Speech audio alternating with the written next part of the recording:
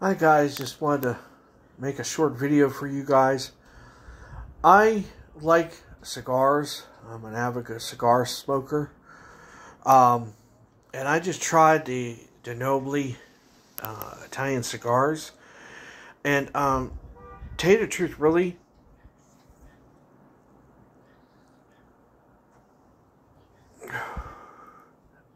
they're not bad. You know, sweet, uh, a little um, strong on the tobacco, but really, really good. Now, I don't know if any of you guys have these in your area, uh, any of my cigar lovers. Um, I've been smoking cigars for several years now. I'd say since high school, I'm 41. So I've been smoking cigars for off and on for about 20 years, I'd say. And this is my first time actually trying this cigar. And it's really, really good. And here's the package. I'm going to flip my phone around and show you the package that they're in in my cigar box. I keep them in my cigar box, cigar box just to keep everything together and, you know, keep it going. But, and there's the packaging. And I tell you, they're really good. There's five cigars too, and like I said, they're, they're these are it. And I never was. I heard my mom always telling me my great grandfather loved these, so I wanted to try one. And I found them at my local cigar shop, and let me tell you something. They're not really that bad. I know a few years ago my friend tried one and they they really stunk. I don't know what they did to these cigars now, but I tell you something, they're really different now, and they are they have a mellow taste to them. So if you guys get ever get a chance to try to try one of these, I suggest it. See what you think of it. It might be they're they're like on a medium scale, I'd say, in my book. But I mean, they're not a bad cigar, not at bad at all. And I tell you what, uh, the tobacco, they're tight. They're really tight. I don't know if you guys could see that in the light. Um, but there, I've been maybe chewing on this end for a little bit, and so far, it's not unraveled. You know, sometimes you chew on them, they unravel a little bit.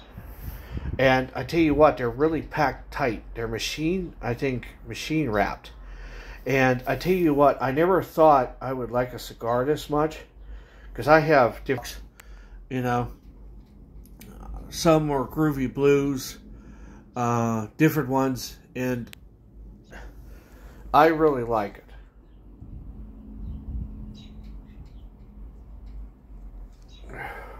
I tell you, not bad.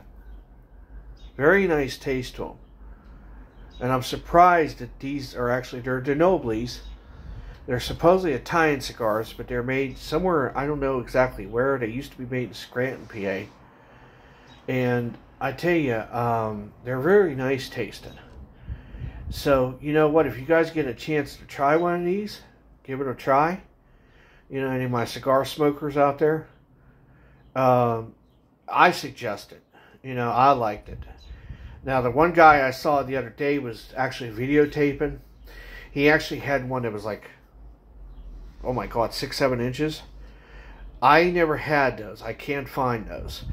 But these ones are probably around four inches, four, three, four inches, a little bit, maybe a little bit longer.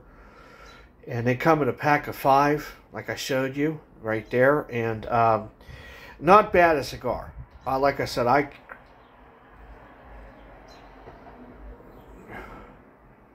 I like them.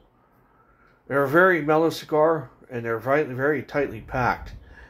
So if you ever guys ever get a chance to try one, or let me know if you have had these, let me know. Leave your comments in the comment area and see what you guys think. Me, I like them.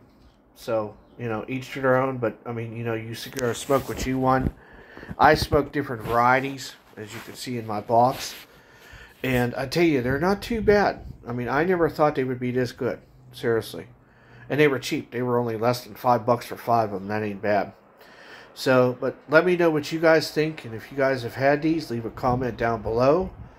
And Holler at me if you have had these and let me know what you think. And to my cigar smokers out there, this like puffs for you, bros, guys and girls. I've I've known women to smoke cigars too. So, but this one's for you guys. So, keep on puffing. Later, guys.